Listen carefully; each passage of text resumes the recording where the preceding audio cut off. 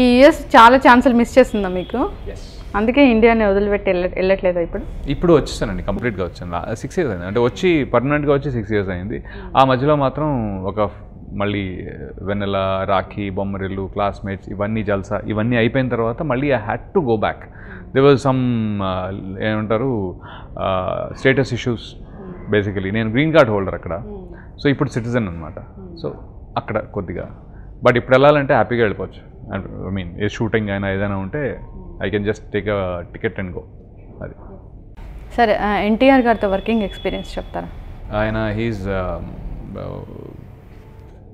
పర్ఫార్మెన్స్కి pics and ఆయన చూసి చాలా నేర్చుకున్నాను literally to stay in a certain zone of acting he is one చాలా ఫాస్ట్ చాలా క్విక్ చాలా emotion I don't know he's is dynamite లాగా పేల్తాడు ఆయన. అంటే మరి సింగులర్లు వాడుతున్నానేమో.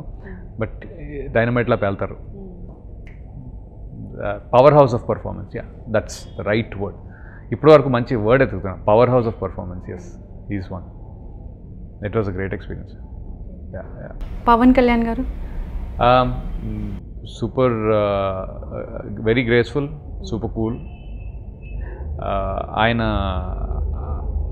he has a different world also Jalsa చేశారు కదా ఓకే. జల్సా చేసినప్పుడు ఆయనతో ఒక చిన్న కాన్వర్జేషన్ జానీ గురించి ఉండేది. జానీ నాకు నచ్చింది cinema. I don't know about others అంటే బట్ నాకు మాత్రం బాగా నచ్చింది. కమర్షియల్ వాల్యూస్ వేరు సినిమా వేరు. మ్మ్. జానీ నాకు డిఫరెంట్గా అనిపించింది. అంటే ఇప్పుడు మనం అందరం డిఫరెంట్గా ఉండాలి డిఫరెంట్గా ఉండాలి అంటాం. డిఫరెంట్గా వచ్చిందంటేనేమో అది ఏ బోర్ కొడుతుంది. ఒక స్టో ఒక్కొక్క స్టోరీ ఒక్కొక్కలా ఉంటుంది. ఆ స్టోరీలో మీరు దూరారంటే బయటకు రాకపోవచ్చు. Actually you might feel it is good జానీలో నేను ఆయనకి చెప్పింది ఏంటి అంటే రిలీజ్ అయిపోయింది చాలా రోజులు అయిన తర్వాత నాకు ఒక యూఎస్లో సీడీలు దొరుకుతాయి బేసికలీ. అంటే మామూలుగా it's not a piracy ఇక్కడివి you will get CDs in US basically. Because అక్కడ యాక్సెసిబిలిటీ లేదు కాబట్టి డివిడీలు అక్కడ దొరుకుతాయి అన్నమాట. అయితే నేను నాకు అది తీసుకున్న తర్వాత లాస్ట్ టెన్ మినిట్స్ స్టక్ అయిపోతుంది.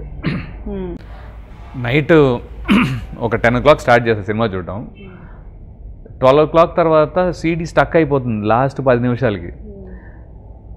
నాకు ఆల్మోస్ట్ త్రీ అవర్స్ పట్టింది. డివిడి ప్లేయర్లు క్లీన్ చేసి అంటే ది ఎండింగ్ ఎక్సైట్మెంట్ అరే ఏమవుతుంది ఎండింగ్లో అనే ఇది యాంగ్జైటీ డివిడి క్లీన్ డివిడి ప్లేయర్లు క్లీన్ చేసా. కంప్యూటర్ కంప్యూటర్లో కూడా డివిడి ప్లేయర్ ఉంటుంది. అది క్లీన్ చేసుకున్నా దీన్ని క్లీన్ చేసా. లిటరలీ దాన్ని అది స్టక్ అయ్యి స్టక్ అయ్యి స్టక్ అయ్యి పనిచేస్తుంది అనమాట ఇంకా లాభం లేదని చెప్పి ఇంకోటి ఏదో వేరే అరేంజ్మెంట్ ఏదో ఉంటే దానిలోంచి డివిడి ప్లేయర్ తీసి దాన్ని సెపరేట్గా అటాచ్ అంటే కొద్దిగా టెక్నికల్ వర్క్ చేసి నేను నెట్వర్క్ అడ్మిన్ అనమాట నా ఐటీ వర్క్ అంతా నెట్వర్క్స్. సో నా కనెక్షన్లు ఇవి అవి అదేదో చేసి అప్పుడు సినిమా కంప్లీట్ చేశాను నేను అదే చెప్పాను సార్ లిటరలీ లాస్ట్ పది నిమిషాల కోసం నేను ఒక రెండు మూడు గంటలు ఇది అవ్వాల్సి వచ్చింది అని. So is like oh interesting ఆయన కూడా ఏంటంటే బాగా I mean I you got the sense of the story I like అంటే it's good I I'm happy I'm happy that you got the sense of the story అన్నది ఆయన. So that was a good conversation ఆయన ఏంటంటే literally ఒక రాయి మీద పడుకున్నారు అక్కడ షూట్లో. నాట్ ఈ was not in the caravan he was just sitting like this ఇలా ఒక రాయి మీద అలా పడుకుని ఏదో చూసుకుంటున్నారు. బుక్ అయితే వెళ్ళి సార్ డిస్టర్బ్ చేయొచ్చా అంటే ఏ కమ్ కమ్ అని చెప్పి నేను చెప్పాను అనమాట సార్ ఇలా జానీ చూసానంటే గుడ్ నీకు అంటే I'm happy that you like the movie అలా. So yeah it's a good good feeling. So ఆ తర్వాత మళ్ళీ ఎప్పుడైనా కలవడం జరిగింది? సినిమా వర్క్ ఆయనతో మళ్ళీ కలిసి పనిచేయలేదు కదా. సో